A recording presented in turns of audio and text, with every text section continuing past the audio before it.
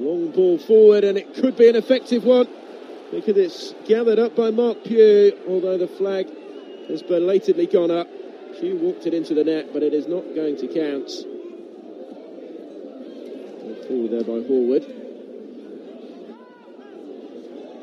So well held up by Brown. And James Brown initially appeared as if he was waiting for support to arrive. Decided to go it alone. He certainly wasn't far away here. Full stretch when he hit it, but off the bar. Intercepted by Monkhouse. Brown has uh, set off on a searching run and ended it with a stunning strike. Hartlepool United lead just past the half hour mark.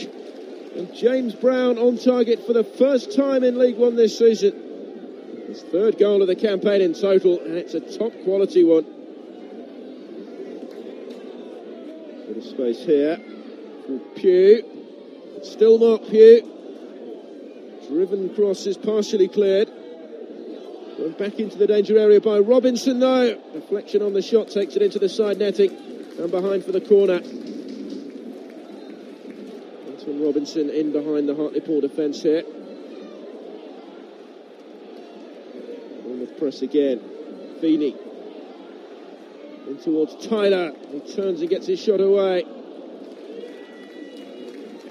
Bournemouth, of course, have seen their top scorer Josh McQuoid depart for Millwall. Taylor, one of those trying to fill his boots.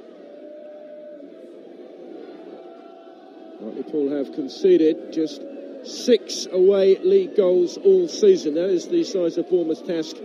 Try and find a way past this defence and rescue something this afternoon. They might do so here, but Jason Pearce got it all wrong.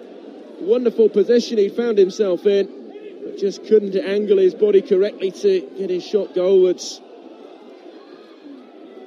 There's Pugh. The defence backpedaling. Still Marc Pugh. Rings the save from Jake Kean. Again, the goalkeeper probably saw this fairly late with two defenders in front of him.